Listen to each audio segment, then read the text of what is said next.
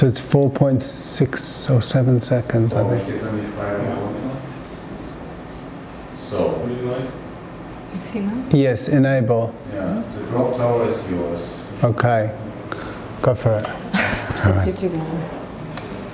You I'll, I'll hold you. Okay. here, okay? Ready? Uh huh. Steady? Yeah. Go. Whoa. Whoa. It too quick. Wow. okay, so it stayed, you see, it stayed in its shape. Yeah, yeah, yeah. It stayed in its shape. Good. Congratulations. So today that was a historic moment. We've just um, dropped the capsule down the, um, the drop tower, which is 110 meters. Um, what we've done here today is we've tried to um, reenact uh, an artwork that was made in 1914 by Marcel Duchamp. So the original piece um, he made by taking a piece of string and dropping it on the floor. And um, what he was interested in doing or demonstrating was um, that he could make a piece of art using gravity as the kind of force, the force of gravity to make the work. And nobody had ever done that before. Until then, we always thought of a piece of art being made by the artist, and he wanted the, the work to be made by gravity. So he dropped the string on the floor, and um, the way it fell on the floor, he would trace the line of the shape. And then he transferred that, uh, that line into a piece of wood which he carved into some rosewood. And he made three of these, what he called drops. He dropped the, what he called stoppages, where the string is stopped by the impact on the ground.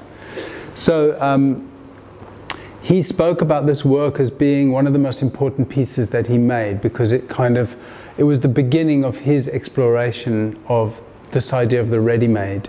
The ready-made was, you know, I take a toilet and I call it a piece of art. But it all began with this three stoppages. Um, and he said that what he was interested in was letting uh, chance, an accident, um, govern form.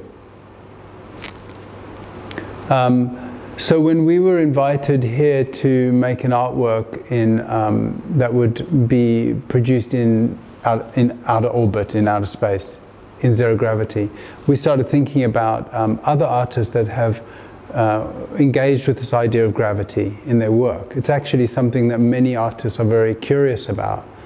Um, so Duchamp is one of the earliest examples, but you can also think of Yves Klein when he made this famous work leaping off a building in Paris into the street, where you see him hovering in space.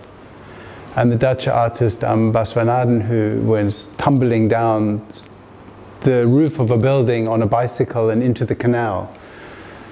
And uh, something more contemporary, you could think of um, Ai Weiwei taking a Han, vase, uh, Han Dynasty vase and dropping it on the floor, where gravity is kind of um, um, taken as a kind of force that can be used in the creation of the work of art. So we, we looked at all these examples, but we went back to Duchamp because this was really like the beginning of it.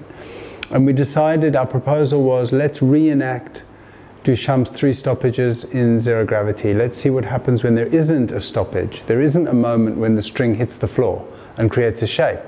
So that was a very simple idea, but it was actually much more complicated than you would have thought to do it.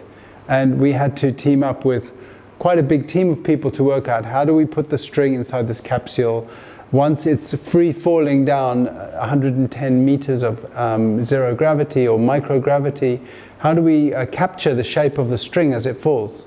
So we've had to, we um, got uh, the support of Nikon, who came in and gave us a lot of cameras, which we've had to um, sync up so that they fire off in, in unison.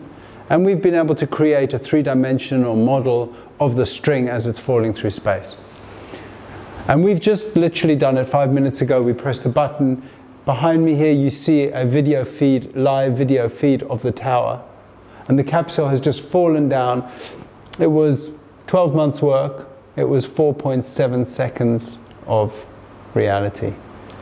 And here we are. And we're about to go out there and uh, recover the capsule and um, take the chips and look at the images. So maybe we should go.